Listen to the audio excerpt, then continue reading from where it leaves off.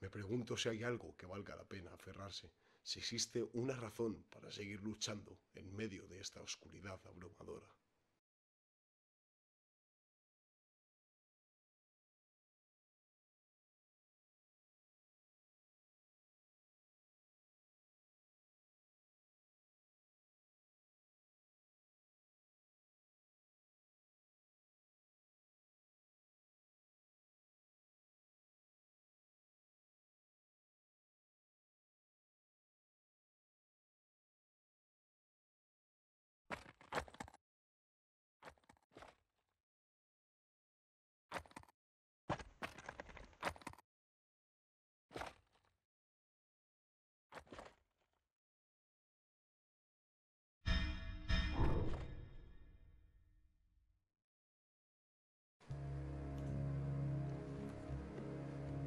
El tiempo es una maraña intrincada en la que nos perdemos, una danza incesante de momentos que fluyen y se desvanecen como la lava entre las rocas.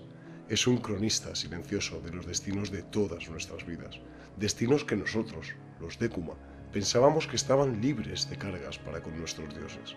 Veneramos con fervor a Ardi, que nos provee de alimentos, y damos gracias por la luz de Blam, que nos calienta e ilumina.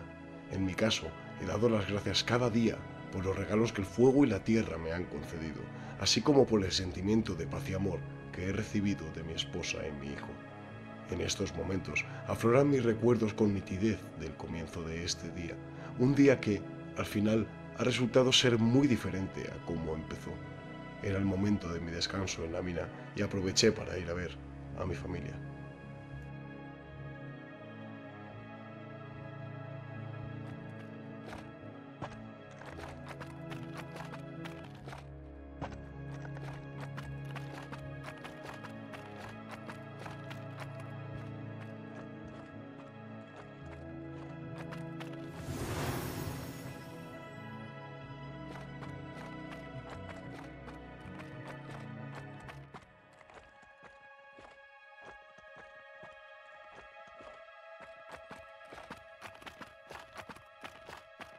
Los conocidos límites que nos establecieron nuestros dioses al principio de los tiempos.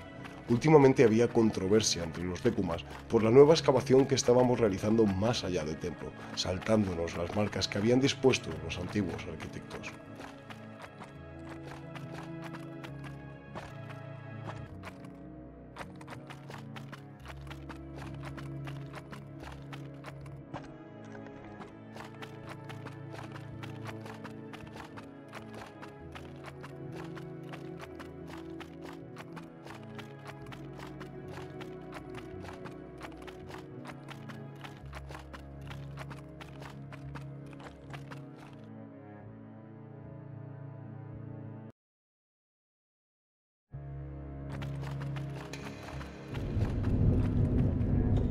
En los últimos meses hemos hecho un descubrimiento casi fortuito.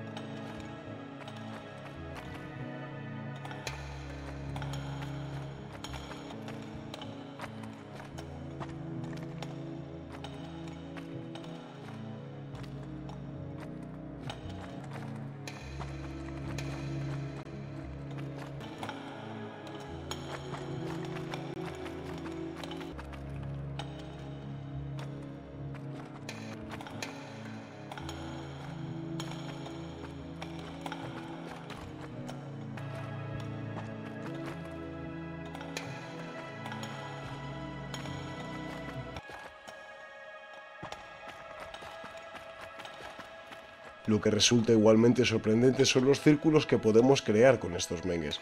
Originalmente son hechos para llevar a cabo rituales y ofrendas. Aún estamos explorando sus propiedades. Sin embargo, todos sabemos que cuando la energía que emana de cada uno de estos mengues entra en contacto contigo, estás rendiendo homenaje y entregando a los dioses tus conocimientos adquiridos durante el día, tu experiencia y tus emociones. Es ofrecerles una visión más pura de ti mismo de la que no eres ni siquiera consciente.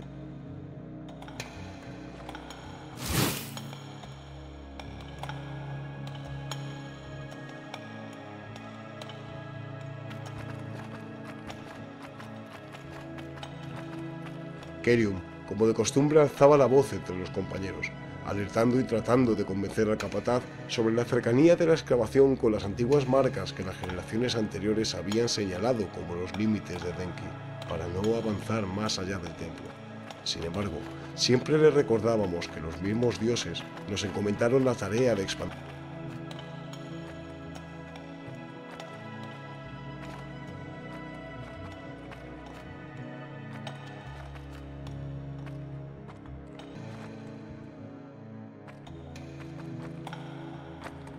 El Consejo de Castas se había celebrado recientemente. Este año se cumplía el quinto ciclo de 200 años marcado en el calendario, por lo que sería un año de celebración y ofrendas. En aquella reunión se acordó que dejaríamos de extraer minerales y no excavaríamos más por el momento. En su lugar nos propusimos preparar la mina y limitar nuestras actividades hasta el comienzo de la siguiente temporada. En un abrir y cerrar de ojos todo cambió. Una parte de la pared en la que me había apoyado se desprendió, revelando una luz diferente a la que estábamos acostumbrados de los mengues. Era una energía extraña, algo que nunca había visto antes. Tan pronto como esa energía se manifestó, todo comenzó a temblar.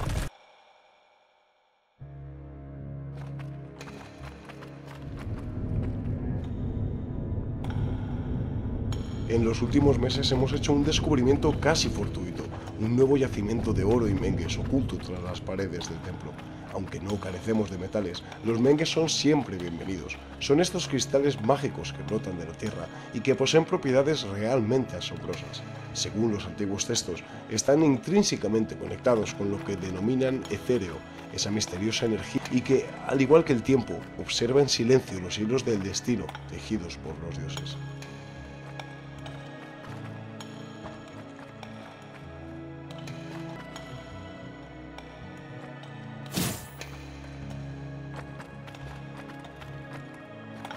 Lo que